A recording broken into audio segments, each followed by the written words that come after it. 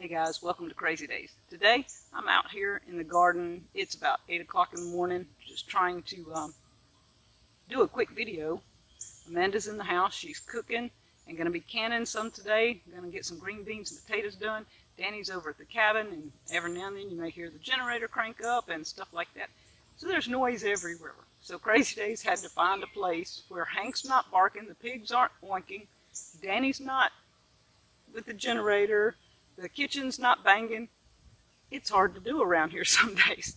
So today, I'm here in the garden. It's a little quiet right now, and I want to talk to you about just the courtesy that people have.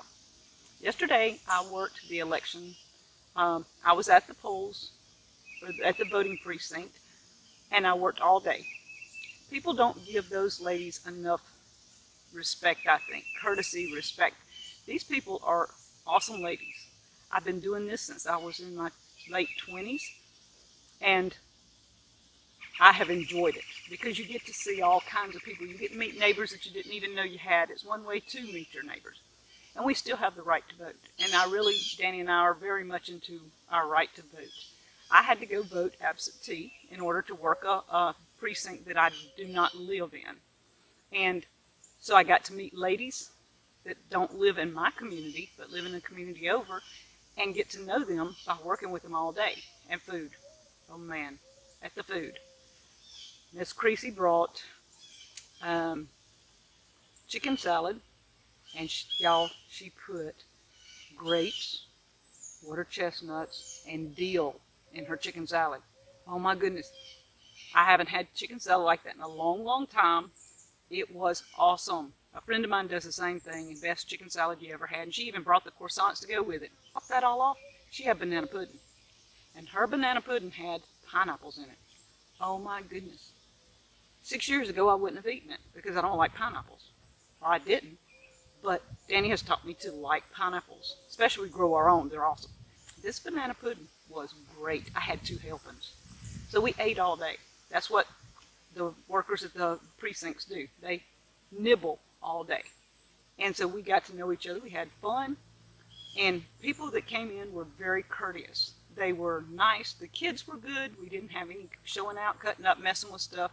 That was really pretty, pretty great to me. Um, we did have a couple of hang-ups. There was a couple of people that can be pretty Yankee, but that's okay. You learn to expect it. But the one thing that I see in this whole election is there's very little respect for the election commissioners, the, the uh, workers at the polls, the poll watchers, and all this. People are angry with these people. They fuss at these people all the time, and they don't give them the respect that they need. These people are helping you have your right to vote. It's not their fault that your name's not on the record or whatever.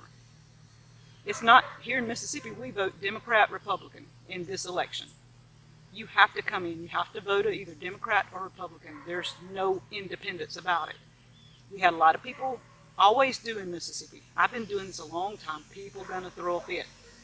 Talk to your voted officials, your senators, your representatives. They're the ones that have it done this way.